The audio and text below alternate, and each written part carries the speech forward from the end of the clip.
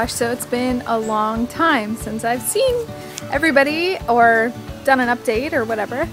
But um, today I'm 24 weeks pregnant. I went on vacation for 10 days and it was so fun. We went to Colorado and Fia got to see snow and it was awesome. We went to Phoenix and we got to see all our cousins and so it was really fun. We had a great time, but oh my gosh, it was crazy stressful. And now Fia has a fever and a cold that she picked up probably a day before we left. So she hasn't been sleeping at night and it's been crazy. But we got back yesterday and so we're trying to settle back in and I thought, oh my god, I gotta do an update. So I tried to do it while we were gone, but there was either no internet or the internet wasn't working and it was just all over the place. So it just didn't work. So for 24 weeks, well, for the past, let's see, 22 and 23 weeks and 24 weeks, I've started to get some belly itching going on. So I need to start creaming it up. Um, I didn't get stretch marks with Fia, but you never know with the second, I might. Um, let's see what else. I've been feeling lots of movement, but since we've been on the go so much, I think I just um, have not been noticing as much as I'd like to because, yeah, we've been moving and going, and I think that rocks baby to sleep.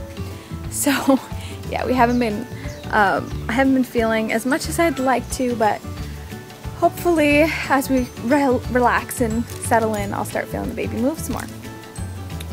Um, Fia felt the baby move for the first time. That was really fun. She, um, it was like, I think it might have been right after we left.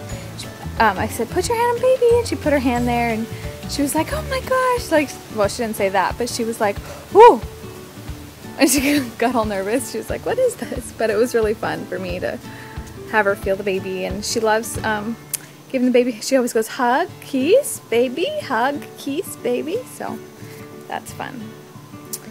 So being pregnant and flying with a toddler, not so much fun. I didn't swell, I didn't have any problems like that, but I was just so tired because we did a red eye from, um, from Hawaii over to Denver and oh my gosh, it was just painful because Fia couldn't sleep and I wanted to sleep and I was so tired and she just wanted to be on my lap. She wouldn't be on daddy's lap. So I had to carry her the whole time. And you know, it's just uncomfortable sitting already. And then when you're pregnant it's like doubly uncomfortable and you're doubly tired.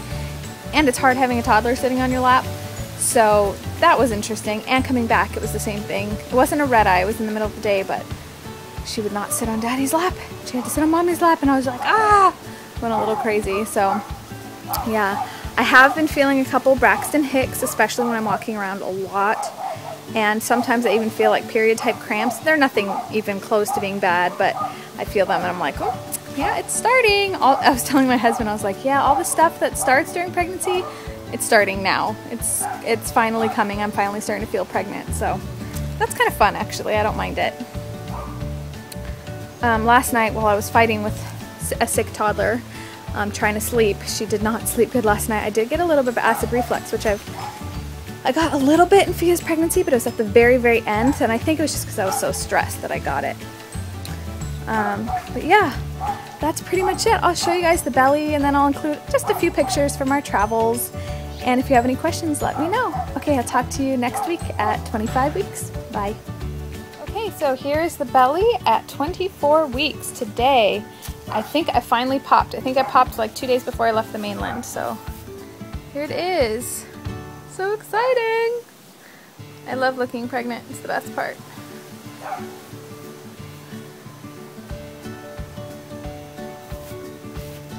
So I don't know how much weight I've gained, but man, I did not eat well on our trip travels, so probably a lot. So that's it for this week, and I'll see you guys next week. Bye.